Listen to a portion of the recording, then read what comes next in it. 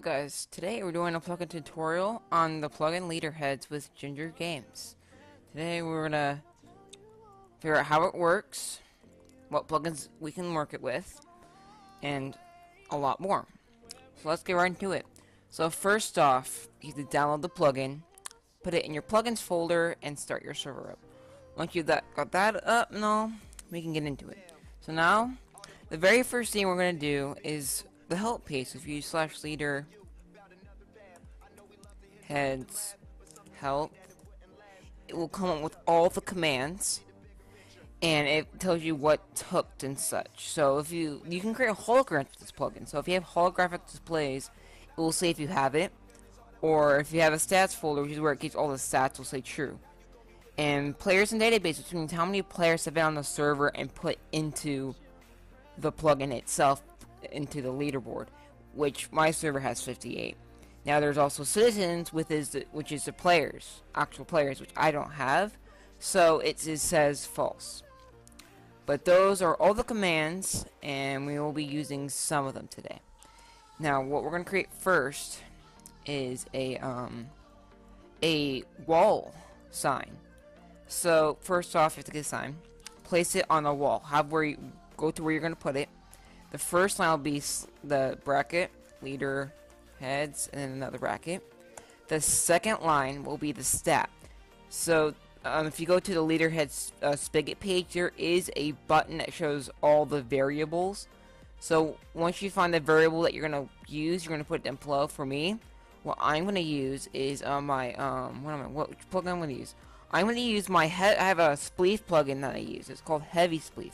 So for one of the variables, it's wins, for how many wins you get. So it's HS dot or dash wins. That's the stat. The third line and the last line is the place. So first place, second place, first place. For this one, I'm doing first place. And then we click done. And boom, it will show the player and how many wins. It actually right click on the sign. It will show you GUI with all the way up to 9 players. And I'm second place, woohoo, with 28 wins. Now, if you want, you can always put a head up top. And if you do slash leader, heads, reload.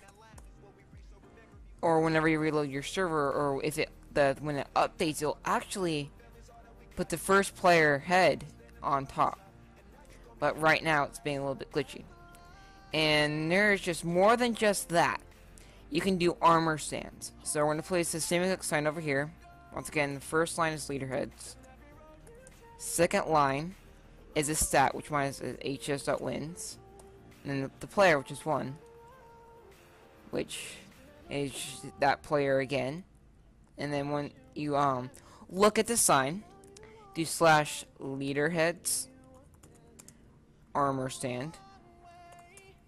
And then um, small or big. There's a mini armor stand and a big smaller stand. I don't know if what you probably some people probably understand that. I understand that, but if you don't understand, I'm about to show you. So right now we're gonna do small. And look at the little armor stand, small, tiny, cute. And it will load the head in a little bit, I think. And then you also put armor on each one, just not the head. See, look, it updated it. It has the little guy. It's, it's cute, isn't it? Yes. And now we're gonna do uh, another one. The same exact sign. Leader heads, first line. Second line of step. And the third line is the place, which is number one.